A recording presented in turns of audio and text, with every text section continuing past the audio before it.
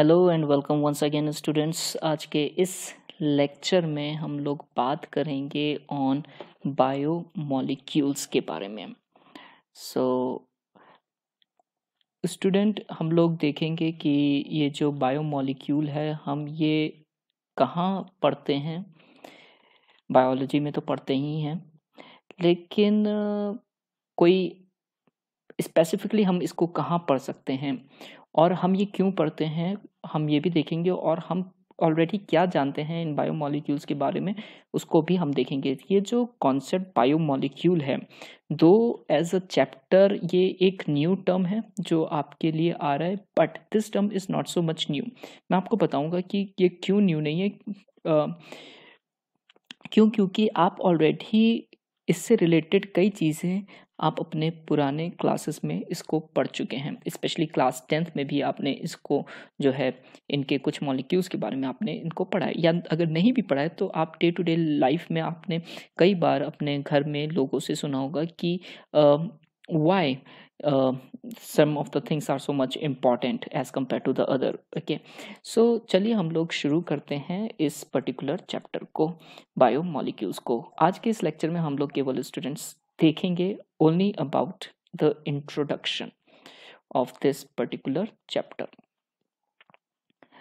so students जब हम लोग बायोमोलिक्यूल की बात करते हैं सो so ये जो बायोमोलिक्यूल है, इसमें एक प्रीफिक्स ऐड हो गया है और इस प्रीफिक्स को हम लोग बोलते हैं बायो बायो का मतलब क्या होता है? बायो का मतलब है लाइफ ओके? okay? या फिर बायो का मतलब लिविंग सिस्टम से भी रिलेटेड है। ओके? सो जब कभी बायो का मतलब है बायो uh, आएगा उसका मतलब है लाइफ या लिविंग से। सो so, वो मॉलिक्यूल्स जो कि लिविंग ऑर्गेनिजम्स में पाए जाते हैं उनको हम बायोमोलिक्यूल्स बोल देंगे ठीक है? So molecules in living organisms जो पाए जाएँगे, उनको हम लोग बायोमोलिक्यूल्स बोलेंगे। साथ ही साथ स्टूडेंट्स ये जो मॉलिक्यूल्स हैं, ये वेरियस लाइफ प्रोसेसेस में हेल्प करेंगे हमारे, ठीक है? सो जितने भी लाइफ प्रोसेसेस होते हैं, उन सब में ये हमारे बायोमोलिक्यूल्स हेल्प करते हैं। या सिंपली हम इनको कह सकते हैं, हमारे जो बॉडी की जो मेटाबॉलिज्म है मेंटेनेंस है उस सब में ये हमारे मॉलिक्यूल्स हमको हेल्प करते हैं। ग्रोथ रिपेयर रीजनरेशन इन सब में जो है यू you नो know, ये सब हमारे हेल्प करते हैं ये मॉलिक्यूल्स ठीक है? अब स्टूडेंट्स ये जो लिविंग ऑर्गेनिजम्स हैं ये लिविंग ऑर्गेनिजम्स सब ज़्यादातर सेल्स के बने हुए होते हैं। सो so, हम कह सकते हैं जो मॉलिक्यूल्स हमको सेल में देखने को मिलता है उनको हम जो है बायोमोलिक्यूल्स बोलते हैं। सो so, ये एक जनरल सी एक यू नो डेफिनेशन हो गई। अब स्टूडेंट्स एक सेल के अंदर जितने भी मॉलिक्यूल्स प्रेजेंट होंगे यहाँ पे मैं इसको इन्वॉल्व करूँगा इस पर्टिकुलर मेम्ब्रेन को भी ओके सो सेल मेम्ब्रेन और उसके अंदर जितने भी मॉलिक्यूल्स प्रेजेंट होंगे ओके? जितने भी मॉलिक्यूल्स प्रेजेंट होंगे वो सब जो हैं वो बायो मॉलिक्यूल्स बनाएँगे स्टूडेंट्स। सो so, ध्यान दीजिएगा हमारी बॉडी में सबसे ज़्यादा जो परसेंटेज होता है वो वाटर का प्रेजेंट होगा।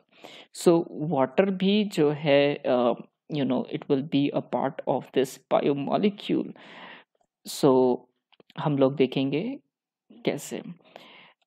सेल मेम्ब्रेन में जो है इट्स अ बाइलिपिड मेम्ब्रेन है ओके सो वी नो कि सेल मेम्ब्रेन जो है, वो बाइलिपिड मेम्ब्रेन है। तो इस वजह से जिसमें कार्बोहाइड्रेट और प्रोटीन्स भी पाए जाते हैं तो इस वजह से सेल मेम्ब्रेन के जितने भी मॉलिक्यूल्स हैं और सेल के अंदर और उसके ऑर्गेनल्स में भी जितने भी मॉलिक्यूल्स हैं okay so molecules of cell membrane plus in cytoplasm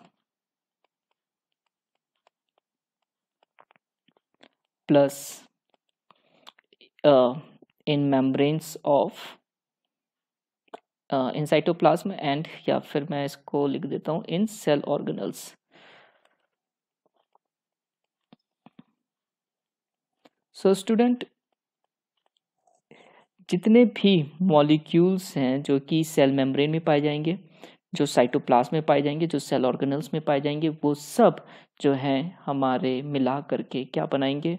students they will makeup जिसको हम लोग बोलेंगे बायोमोलिक्यूल्स इन बायोमोलिक्यूल्स को पढ़ने के लिए स्टूडेंट एक सेपरेट ब्रांच है, बनाई गई है, जिसको हम लोग बायोकेमिस्ट्री बोलते हैं। So biochemistry is a branch of biology जो कि डील करेगी विथ बायोमोलिक्यूल्स ओके और बायोमोलिक्यूल को बायो केमिस्ट्री को पढ़ने वालों को हम लोग बायो केमिस्ट बोलते हैं। So you will remember these two terms one that is biochemistry the another one that is biochemist okay students अब हम लोग uh, थोड़ा सा आगे चलते हैं और देखते हैं कि जो मैं ये कह रहा हूँ या जिस, जो मैंने ये कहा था कि ये कोई नई चीज़ नहीं है, ये ऑलरेडी आप पढ़ चुके हो। आपने स्टूडेंट अपने पुराने क्लासेस में क्लास टेंथ में आपने नर्व इम्पल्स ट्रांसमिशन में जब उसकी फिजियोलॉजी आपने पढ़ी थी क्लास टेंथ में तो आपने देखा था सोडियम आयंस को पोटेशियम आयंस को और क्लोराइड आयंस के बारे में। आपने जब फोटोसिंथेसिस का चैप्टर आपने जब पढ़ा था स्टूडेंट तो वहाँ पे आपने क्लोरोफिल के बारे में जब आपने पढ़ा था तो वहाँ पे आपने मैग्नीशियम आयंस के बारे में पढ़ा था। आपने जब ब्लड पढ़ा था स्टूडेंट तो ब्लड के हीमोग्लोबिन में आपने मैग्नीशियम आयंस को देखा था। स्टूडेंट जब आप ने क्या नाम है साथ ही साथ नर्व इम्पल्स ट्रांसमिशन को आपने कैल्शियम आयंस भी यहाँ पे आपने देखे थे। आपने जब आ, क्या नाम है फोटोसिंथेसिस के ही चैप्टर में स्टूडेंट सॉरी फोटोसिंथेसिस नहीं ट्रांसपिरेशन मैं बोल देता हूँ। आपने एक्चुअली में ये पार्ट जो है ट्रांसपिरेशन और फोटोसिंथेसिस दोनों में पढ़ा था। सो so, ट्रांसपिरेशन में opening and closing of stomata में ओके okay, आपने पढ़ा था एक थ्योरी और उस थ्योरी का जो नाम था वो था potassium ion exchange theory I am not wrong so students कहने का मतलब ये है, साथ ही साथ मैंने आपको जब आपको क्लास में बताया था, ये सब आप क्लास टेंथ का हिस्सा है students, okay? So, class tenth में आपने इन सबको पढ़ा था, राइट? साथ ही साथ मैंने आपको कैल्शियम आयंस के सिग्निफिकेंस के बारे में बताया था जहाँ जहाँ पे कैल्शियम आयंस इंपॉर्टेंट है। कैल्शियम आयंस हमारा इंपॉर्टेंट स्टूडेंट्स हम लोग ने देखा था कि जो है टीथ के फॉर्मेशन में कैल्शियम आयंस का मदद है। हमारे बोन के फॉर्मेशन में इंपॉर्टेंट है। हमारे मस्कुलर कॉन्ट्रैक्शन में इंपॉर्टेंट है। साथ ही साथ हमारे जो ब्लड क्लॉटिंग है, उसमें इंपॉर्टेंट है। और इसके अलावा हमारा जो आपका नर्व इम्पल्स ट्रांसमिशन है उसमें भी इंपॉर्टेंट है। सो so, स्टूडेंट आपने इन सबके बारे में। यहाँ यहाँ पे, हर जगह पे आपने देखा कि जो है आयंस का बहुत इंपॉर्टेंट रोल है हमारी बॉडी में और प्लांट्स में भी आयंस का इंपॉर्टेंट रोल हमको देखने को मिला राइट तो बायोमोलिक्यूल्स इसी वजह से इंपॉर्टेंट है कि हम इन के सिग्निफिकेंस को, इनके फ़ंक्शंस को पढ़ सकें और आने वाले समय में हम जो है, अपने कई जो डिज़ीज़ हैं, उनको क्योर कर सकें। सो यही पर्पस है बायोमोलिक्यूल्स का। साथ ही साथ जो ऑर्गेनिजम्स हैं जो पैथोजेंस हैं वो इंट्रैक्ट करते हैं with the help of these molecules only तो अगर हमें उनका फिजियोलॉजी पता है उनकी केमिस्ट्री पता है तो हम उनको यू you नो know, आसानी से uh, या फिर easily we can combat these things now students हमारी बॉडी में ये जो मॉलिक्यूल्स हैं, ये मॉलिक्यूल्स कुछ मॉलिक्यूल्स हमारी बॉडी में जो हैं, या फिर wait a second what is happening okay so हमारी बॉडी में कुछ मॉलिक्यूल्स का यूज़ ज़्यादा है और कुछ का यूज़ कम है। So use in our body so या तो वो लेस यूज़ होंगे या फिर मोर इन यूज़ होंगे। सो so, जो ज़्यादा यूज़ होते हैं स्टूडेंट्स वो कौन कौन से हैं? वो हैं हमारे proteins carbohydrates and fats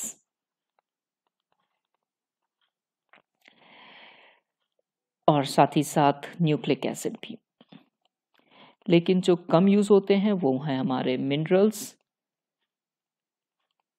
students water vitamins ions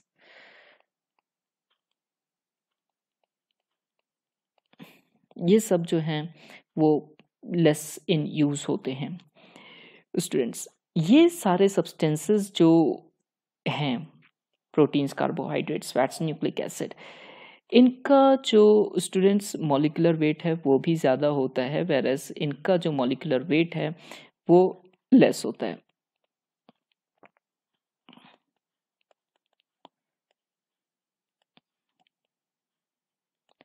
हम लोग स्टूडेंट हर एक आने वाले वीडियोस में हम लोग देखेंगे कि जितने भी मॉलिक्यूल्स है, इन सब का स्ट्रक्चर देखेंगे और हम लोग इनका फ़ंक्शंस भी देखेंगे स्टूडेंट्स अब बात आती है क्योंकि ये जो है हमारी जो बॉडी है स्टूडेंट्स वो बनी हुई होती है it is organic in nature ठीक है? All living all living organisms मैं एक सेंटेंस लिखता हूँ यहाँ पे। और the products are organic in nature ये कैसे हैं? ये ऑर्गेनिक है नेचर में। ऑर्गेनिक इन नेचर हैं तो इसका मतलब क्या है स्टूडेंट? इसका मतलब है कि ये जो आ, हम लोग जितने भी हैं हम लोग हाइड्रोकार्बन के बने हैं। यानी कि हमारे में हाइड्रोजन एंड कार्बन जो है वो एसेंशियल एलिमेंट प्रेजेंट है हाइड्रोजन एंड कार्बन। इसके साथ साथ स्टूडेंट जितने भी लिविंग ऑर्गेनिजम्स होते हैं, ठीक है, उनकी बॉडी मैंने आपको बताया है 90 टू 98 परसेंट जो बॉडी है ह्यूमंस की, वो ड्राइव मास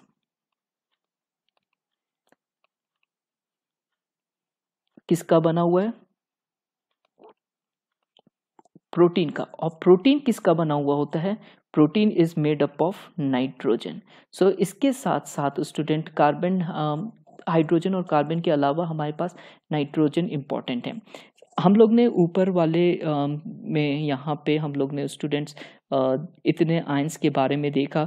तो जो अदर आयंस हैं ठीक है या फिर आ, जो अदर एलिमेंट्स प्रेजेंट हैं जो कि बहुत ही ज़्यादा इंपॉर्टेंट है सिग्निफिकेंट हैं हमारी बॉडी में एज अ इंपॉर्टेंट बायोमोलिक्यूल्स हैं वो कौन कौन से हैं? वो हैं हमारे sodium ion, potassium ions chloride ions and magnesium ions ये सब हमारे इंपॉर्टेंट आयंस प्रेजेंट होते हैं हमारी बॉडी में। इसके साथ ही साथ आपने स्टूडेंट अपने पिछले क्लास में आयोडीन के बारे में पढ़ा होगा कि आयोडीन जो है, वो थायरॉक्सिन में प्रेजेंट होता है। सो आयोडीन जो है, वो भी इज़ इंपॉर्टेंट है हमारे लिए। स्टूडेंट टोटल जो मैं यहाँ पे लिख देता हूँ, इसको मैं स्क्रॉल अप करता हूँ। सो स्टूडेंट ध्यान दीजिएगा कि हमारी बॉडी में हमारी बॉडी में नहीं एक्चुअली में जो इस पृथ्वी पर 118 known elements and out of 180 known elements let me just even change the color of the ink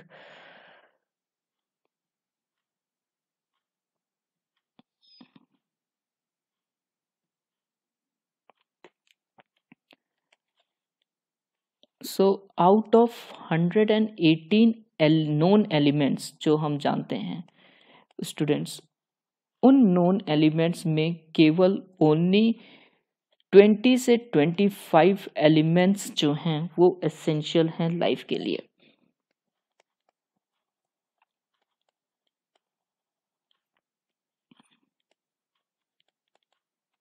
so so, इस चीज़ को हम लोग ध्यान में स्टूडेंट रखेंगे। अब दूसरी इंपॉर्टेंट चीज़ स्टूडेंट यहाँ पे आप ध्यान दीजिए कि जब हम यहाँ पे बात कर रहे हैं कि हम लोग जो है हमारी बॉडी है ऑर्गेनिक नेचर की है, ठीक है? और ऑर्गेनिक का नेचर ऑर्गेनिक नेचर होने के कारण ये हाइड्रोकार्बन के हम लोग बने हुए हैं हाइड्रोजन कार्बन एसेंशियल एलिमेंट है, क्योंकि प्रोटीन हमारी बॉडी में सबसे ज़्यादा प्रेजेंट होता है तो इस वजह से हमारी बॉडी में नाइट्रोजन प्रेजेंट होगा as an essential element so इसके अलावा ऑक्सीजन की हर एक लिविंग ऑर्गेनिजम्स को ऑक्सीजन की बहुत ज़रूरत होती है सो साथ ही साथ हमारे पास ऑक्सीजन भी प्रेजेंट होगी। और अपार्ट फ्रॉम दिस स्टूडेंट जो यहाँ पे एक चीज़ मेरे को बतानी थी जस्ट वेट ऑन प्लीज़ ये मेरे को याद आ गया क्योंकि हम लोग ऑर्गेनिक इन नेचर हैं और बीइंग ऑर्गेनिक इन नेचर हमारी बॉडी हाइड्रोकार्बन्स की बनी हुई है। सो so, ये चीज़ ये जितने भी एलिमेंट्स हैं ये बहुत इंपॉर्टेंट एसेंशियल एलिमेंट्स हैं हमारी बॉडी में। इसके अलावा और भी बहुत सारे एलिमेंट्स हैं जो कि इंपॉर्टेंट हैं स्टूडेंट्स मैंने आपको बता दिया केवल ट्वेंटी से ट्वेंटी फाइव जो एलिमेंट्स हैं वही पाए जाते हैं। और ये याद रखिएगा स्टूडेंट्स कि जितने भी ऑर्गेनिक सब्सटेंसेज हैं उनमें जो बॉन्ड प्रेजेंट होगा वो कौन सा बॉन्ड प्रेजेंट होगा? कोवेलेंट बॉन्ड प्रेजेंट होता है। सो so, वहाँ पे कोवेलेंट बॉन्ड की वजह से ही ऑर्गेनिक कंपाउंड्स बनते हैं ज़्यादातर। सो कोवेलेंट बॉन्ड जो है हमको देखने को मिलेगा इन बायोमोलिक्यूल्स में। और साथ ही साथ एक चीज़ और याद रखिएगा कि फंक्शनल ग्रुप जो है स्टूडेंट्स जो ऑर्गेनिक कंपाउंड्स होते हैं, उनमें फंक्शनल ग्रुप्स प्रेजेंट होता है। तो यहाँ पे जो हमारे पास फंक्शनल ग्रुप्स जो हैं, वो प्रेजेंट होते हैं। और कौन कौन से फंक्शनल ग्रुप बायोमोलिक्यूल्स में प्रेजेंट हो सकते हैं, उसकी लिस्ट मैं आपको बता देता हूँ। वहाँ पे जो फंक्शनल ग्रुप प्रेजेंट हो सकते हैं, वो अल्कोहलिक ग्रुप हो सकता है हमारे पास बायोमोलिक्यूल्स में। यहाँ पे मैं इवन लिख भी देता हूँ ताकि आप कंफ्यूज ना हो।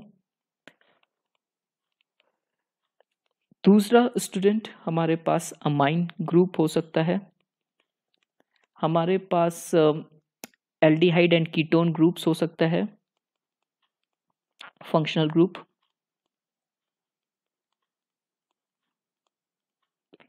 और दूसरा हम पांचवा हमारे पास कार्बोक्सिलिक ग्रुप भी प्रेजेंट हो सकता है। ध्यान दीजिएगा कि हमारे पास बायोमोलिक्यूल्स में जो है पॉलीफंक्शनल ग्रुप भी प्रेजेंट हो सकते हैं। मैं बल्कि इसकी इंक चेंज कर देता हूँ। Poly functional group polyfunctional group का मतलब है कि एक से ज़्यादा फंक्शनल ग्रुप जो है मॉलिक्यूल्स में प्रेजेंट हो सकते हैं स्टूडेंट हम लोग अपने स्टूडेंट कुछ अलग वीडियोस में बात करेंगे on the on